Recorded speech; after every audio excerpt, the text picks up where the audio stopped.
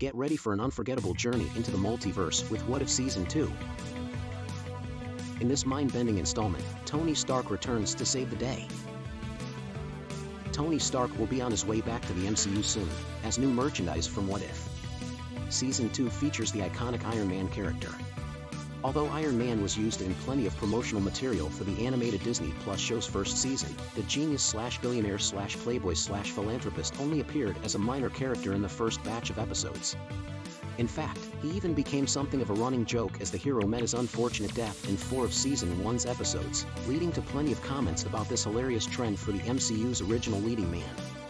Hasbro Pulse listed a new piece of merchandise from the Marvel Legends series featuring Warrior Gamora from Marvel Studios' What If. A description for the figurine included a tease for this new version of Gamora, who dons the armor usually worn by her adoptive father, the Mad Titan Thanos.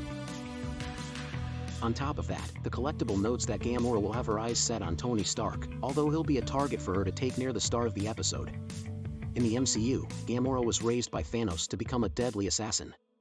But in this universe, her tactics are challenged by a new, unusual target, Tony Stark. Fans saw the resolution from this episode in the season 1 finale of What If, with the Watcher picking Gamora out of her timeline as he assembled the Guardians of the Multiverse. Tony Stark only played a supporting role in a few episodes of What If. Season 1, although this new entry looks to put the MCU's first hero into the spotlight when Season 2 makes its way to Disney+. Season 1 head writer AC Bradley even teased that fans are going to enjoy the ride when this episode finally arrives and that they'll be surprised by the way Gamora gets her armor amidst her hunt for Tony.